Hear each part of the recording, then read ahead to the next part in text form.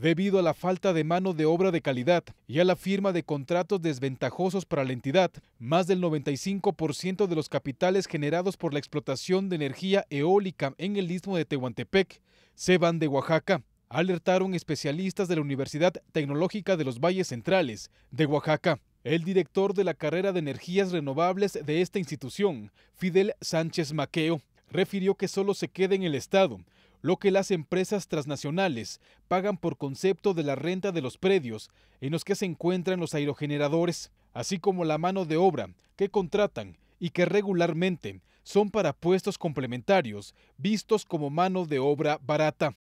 Estamos ahí, o se inició en el caso del eólico con Comisión Federal y con ocho generadores. Ahorita tenemos eh, casi mil generadores, aerogeneradores ahí en el istmo.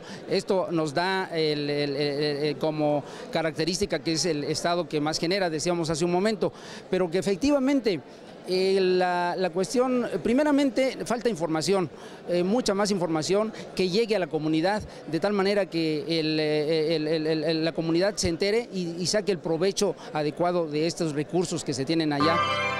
Esta problemática, dijo, se desprende del poco conocimiento que los mismos pobladores de las comunidades tienen sobre la trascendencia de los proyectos eólicos y cuánto benefician a las empresas que promueven la generación de este tipo de energía. Otro de los factores es la poca preparación académica de los pobladores oaxaqueños, que les impide poder contratarse en este tipo de compañías y poder competir por puestos de primer nivel. Esto mismo deriva en que empresas mexicanas sean incapaces de competir en este ramo empresarial, lamentó Sánchez Maqueo hay empresas que tienen sus parques y se llevan la, primero la energía, ¿no? Directamente, por ejemplo, a Monterrey o empresas transnacionales que se llevan la energía a donde tienen sus empresas y obviamente esto les repercute a ellos en beneficios.